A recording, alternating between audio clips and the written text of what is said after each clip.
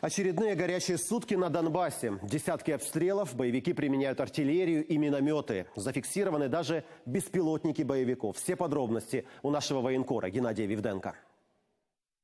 На основных участках фронта по-прежнему горячо. Один из важнейших на Бахмутской трассе – линия обороны поселков Новотошковская, Крымская. После попытки штурма украинских позиций и тяжелых боев противник выдохся. Сейчас оккупант бьет из запрещенного крупного калибра и ствольной артиллерии. Очередной выход. Далекие приходы, а там не сладко. Так практически каждый день. Провокации средь бела дня, ночью идут колоссальные обстрелы. Это один из прилетов.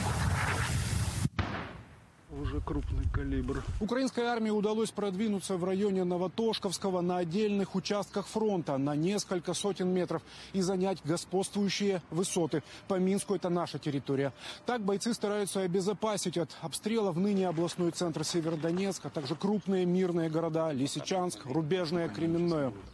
Южнее в районе Приазовья, Горловки и Авдеевки происходят преимущественно ночные бои с ответным огнем.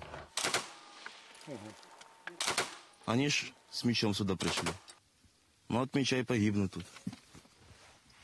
В район Авдеевки вновь, по данным разведки, прибыла группа снайперов-наемников. Он активизировался два дня снайпер назад, то есть заметили его. Сейчас работаем над контрснайперской мерами, пытаемся его обнаружить. И будем потом его ложить в землю.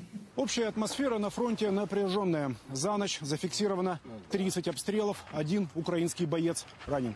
Геннадий Вивденко, Дмитрий Раскольников, Анатолий Воробей. Подробности недели телеканал Интер из Донецкой и Луганской областей.